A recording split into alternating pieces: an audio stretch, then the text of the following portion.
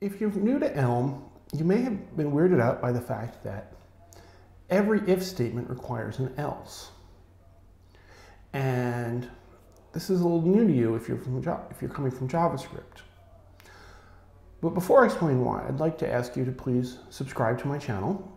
We do, I do videos on Elm five days a week. And if you subscribe, you'll get that and some great bonus content. Uh, you can put the button right there. Also, please share us on Facebook or Twitter.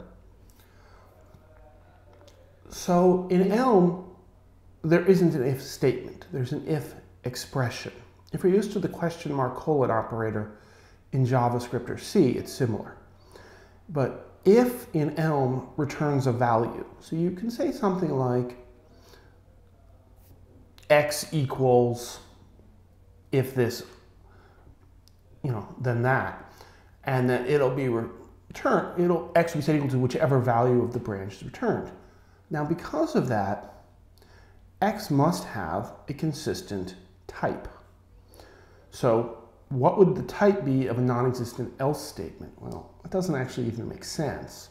So you must have the else as well as the if, or to put it another way, your code must cover all the branches. Now, if you're used to a language like JavaScript or Ruby or PHP, this is going to be a little bit different.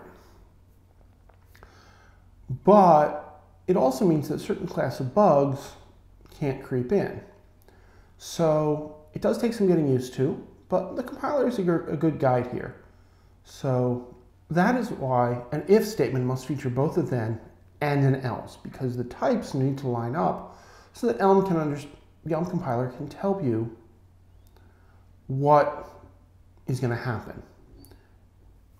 We restrict things in order to make them more predictable.